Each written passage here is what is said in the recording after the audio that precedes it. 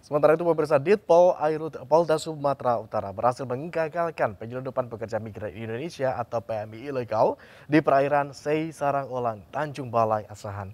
Petugas mengamankan 89 pekerja yang nyaris tewas karena kapal pengangkut PMI ilegal tersebut bocor.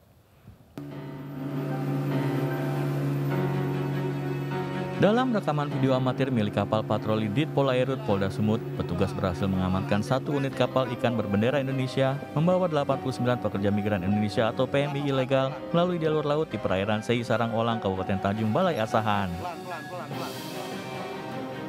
Saat mengamankan PMI ilegal, petugas juga berhasil menangkap 9 orang terduga pelaku yang di antaranya merupakan nahkoda kapal, pencari dan penyalur tenaga kerja. Saat melakukan pemeriksaan, petugas Ditpol Airut Polda Sumut juga menemukan sejumlah kebocoran pada kapal yang dipakai nahkoda untuk mengangkut PMI ilegal.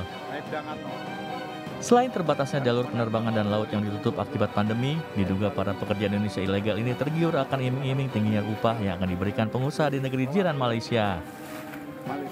Pekerja migran Indonesia yang berlomba-lomba ke Malaysia karena tingginya gaji sekarang di sana.